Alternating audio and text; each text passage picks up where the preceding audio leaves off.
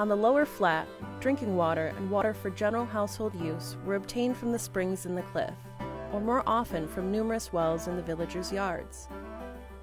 Many of these wells were sunk deep below the level of the river, a former resident declares, and the water was very cold and good. There were old style windlass wells, the full bucket being raised by a hand crank.